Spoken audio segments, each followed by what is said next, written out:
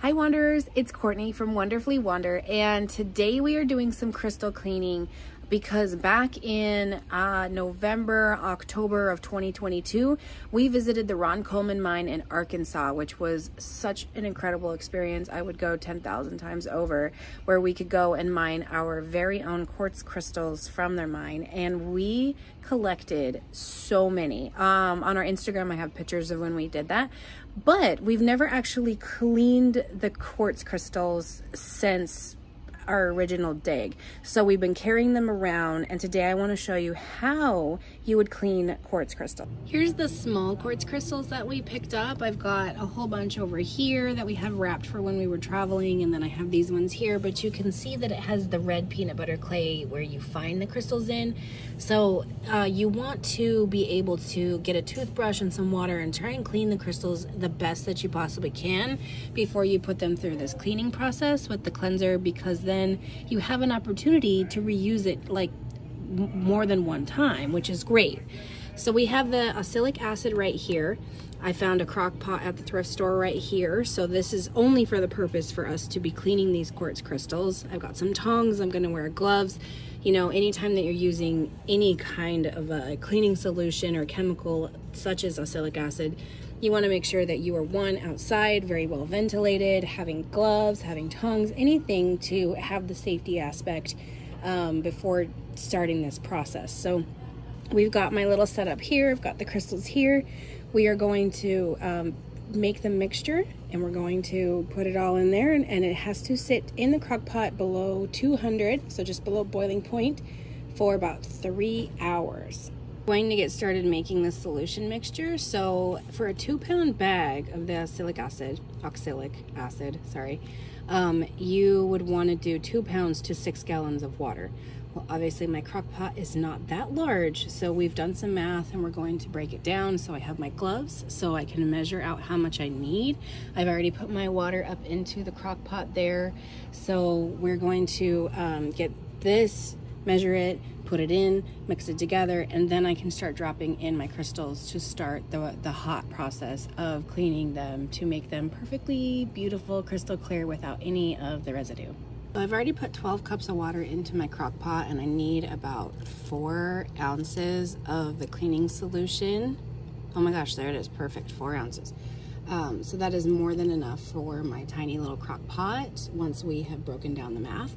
So I made sure, you know, I'm wearing my gloves right now. I'm going to stir it up and then I have more than enough for my big pieces because I do have this small quartz here, but I actually got some incredibly large pieces. So I have enough that I can mix it up later and do like the cool process, which would be like putting it in, in, a container and setting it outside for like three days in the sun. So I'm just trying to, you know, hurry that along because my stuff's not that large.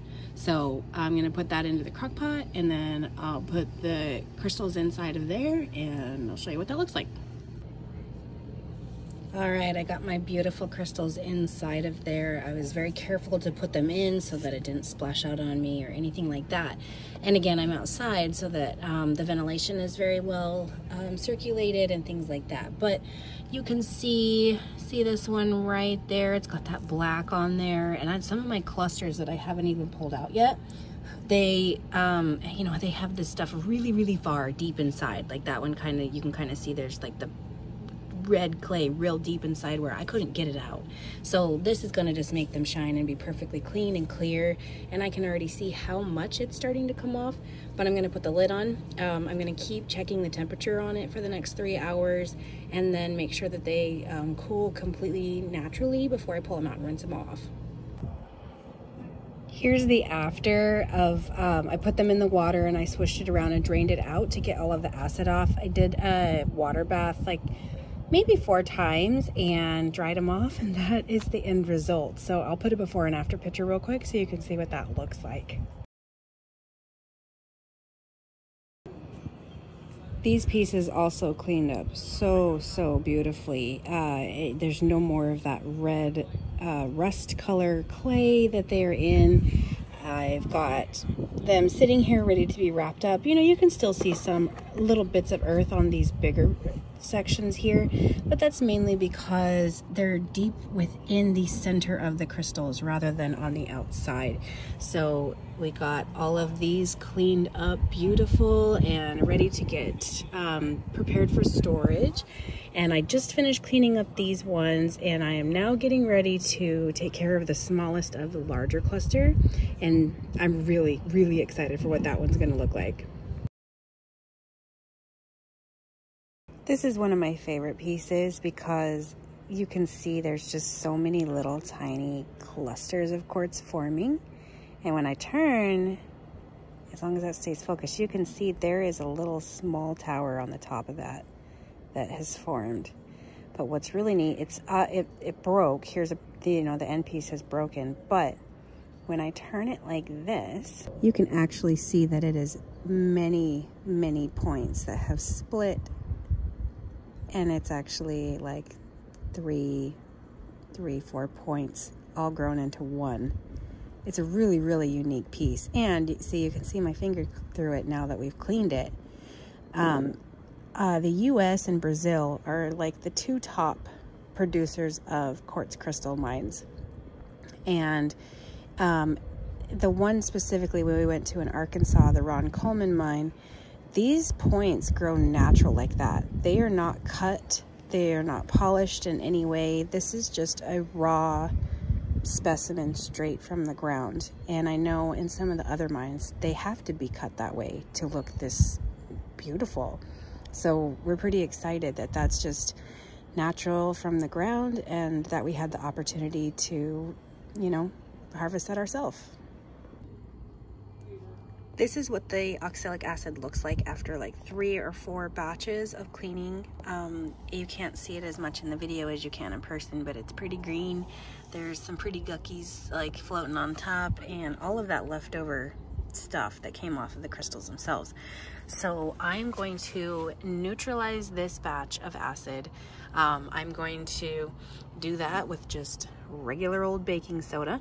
Um, you slowly put it in and watch it bubble and then as soon as it stops bubbling then it's neutralized and once it's neutralized then it's okay for you to dispose of.